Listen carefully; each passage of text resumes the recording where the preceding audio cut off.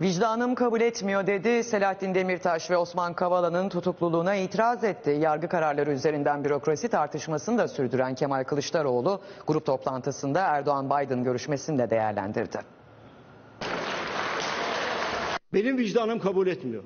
Belki onlar hayatlarının hiçbir döneminde Cumhuriyet Halk Partisi'ne sempati de duymadılar. Belki oy da vermediler.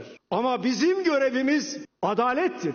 Haksızlığa karşı durmaktır. Tutuklu Selahattin Demirtaş'la Osman Kavala'nın durumlarını meclis kürsüsüne taşıdı. Büyükelçiler krizine de sebep olan polemiği sürdürdü. Kamu görevlilerinin göreve iadesi üzerinden bürokrasiye de yüklendi. Mahkeme kararlarını uygulamayan bürokratlar talimatı kimden aldılarsa aynı şeyi yapmasınlar. Yaptıkları takdirde onları devletin bürokrasi içinde tutmayacağım. Açık ve net söylüyorum.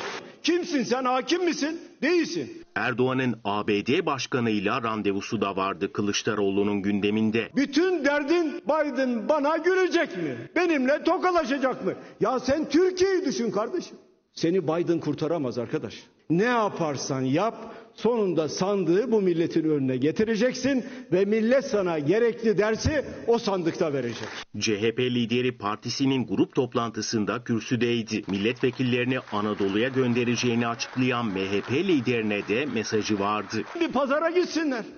Bir işsize sorsunlar. Bir çiftçiye sorsunlar ya bu CHP ne yapıyor kardeşim diye. Gerçekleri gör ve elini asla ve asla fakirin fukaranın aleyhine gelen kanuna evet dememek için kaldır.